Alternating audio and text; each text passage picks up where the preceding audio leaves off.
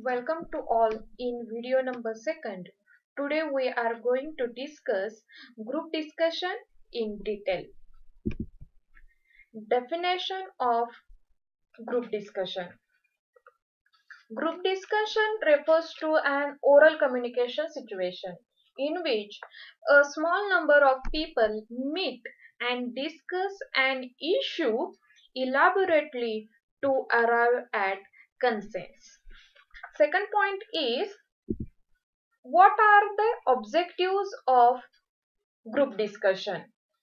The object of group discussion is to elicit the views of all the participants and to evolve a consensus through in-depth interaction.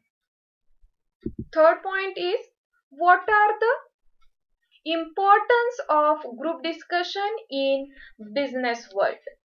In business while framing policies of an organization and taking crucial strategic decisions group discussion of employees concentrate and executives are conducted to evolve consensus and to determine action plans it also used as a tool to judge the candidate who is expiring for administrative job.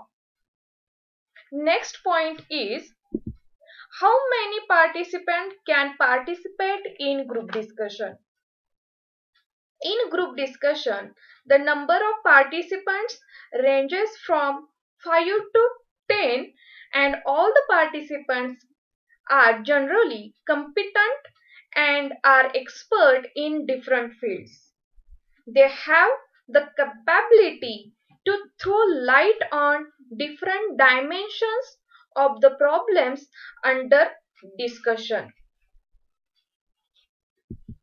Then, what is the importance of group discussion for the selection of manager? Some organization use group discussion as an instrument for judging the suitability of candidate for managerial jobs as several personality traits are revealed during the group discussion.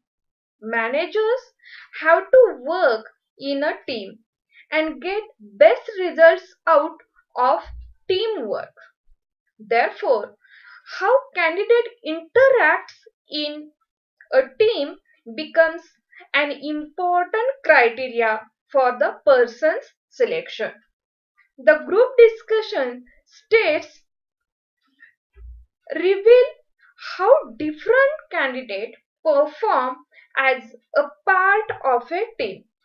They are also conducted for discussing social issues affecting day-to-day life. Next point is which personal qualities are essential to develop group discussion skills. For success in professional or social world, you should have important qualities like quick grasping power, positive approach, leadership qualities, mature reaction to the views expressed by the others, power of exposition, analytical abilities, communication skills and group behavior. So that are the important qualities you have to improve while you are going for the group discussion. So this is some important points of group discussion.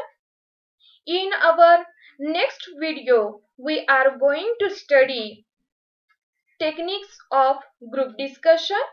So thank you so much. Stay at home